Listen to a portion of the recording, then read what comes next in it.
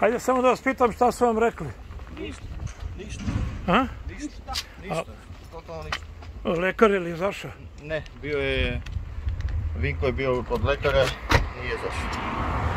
A šta mu je rekao? Ne znam, nismo ništa pričali. Vidi mi, policija je bila. Bila. I? Da se ne prave problemi, to su samo rekli, niko nije pravio probleme. Da. Pa se vidimo.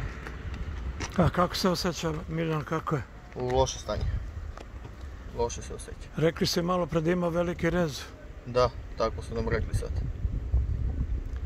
Čujemo se. Vidimo se. Sve najbolje.